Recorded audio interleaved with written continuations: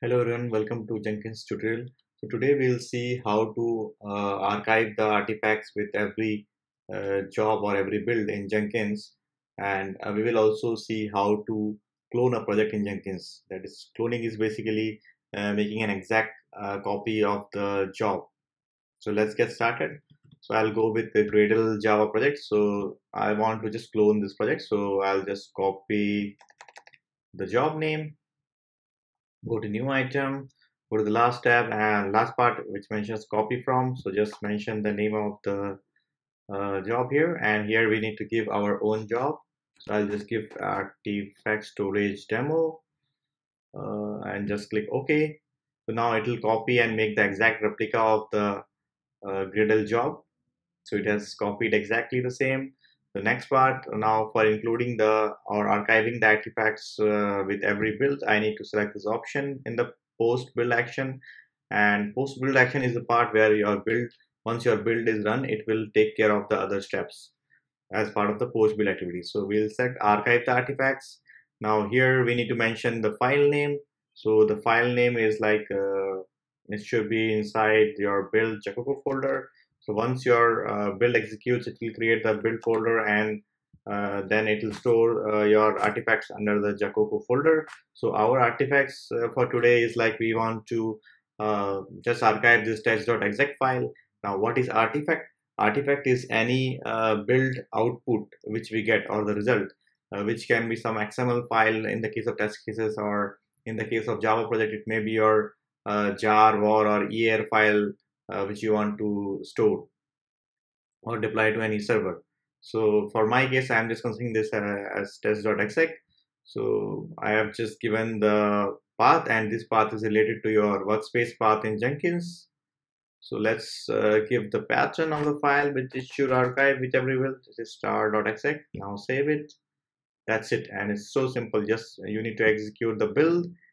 And once the build is success, it will run the uh, post build step, which is to archive our exec file. So we can see like the build is getting executed and it is successful now. Now it will run the post uh, build steps. Okay, so post build step is also success.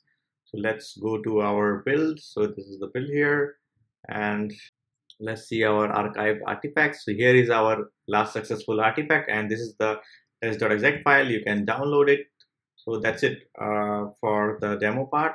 Now let me take the advanced version uh, for the archive artifacts or the advanced section where uh, I'll show some more options which may be useful in your project.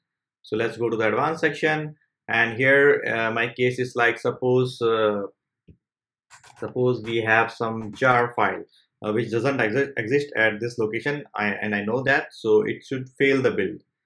So now there may be some cases like where your artifacts are not produced but you still want the uh, build to pass. So in that case you can just uh, go ahead and select with this action uh, action which is like archive artifacts uh, only if the build is successful and when the build is failed you don't want to archive the artifacts so you can just go for this option.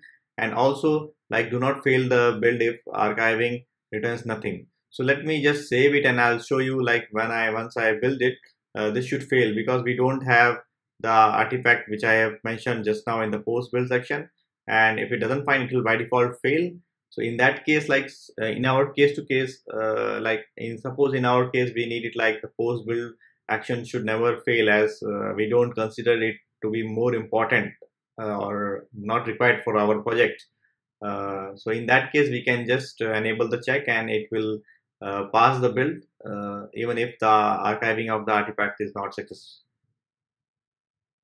So we expect this time the build should fail because it will not be able to find the path of the archive artifact as the uh, archive file pattern does not exist. So now we can see our build part is success. It will run the post uh, build part now, post build actions. And we can see like because it didn't find uh, any jar file inside build Jacoco, which is what uh, we are not producing. Hence it has uh, marked the build as failure.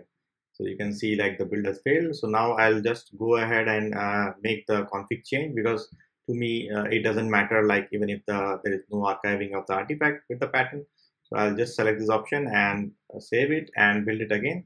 So this time even if like uh, it's not able to find the star dot jar or any jar artifact it will uh, pass my uh, build.